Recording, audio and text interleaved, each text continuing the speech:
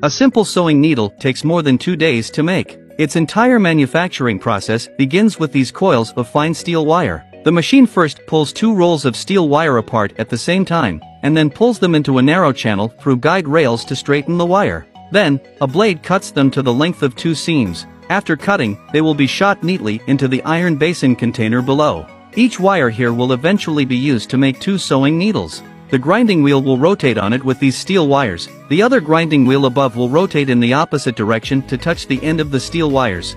After six passes through this grinding process, the steel needles have a very sharp point. They then pass through a series of printers, the first of which flattens the needles in the middle, making them two cylinders. The next printer will punch two needle holes in the flattened position. Finally, a third machine splits them in two and removes any excess material present on the needles. When completed, they drop into a collection bucket below, turning the original one wire into the current two.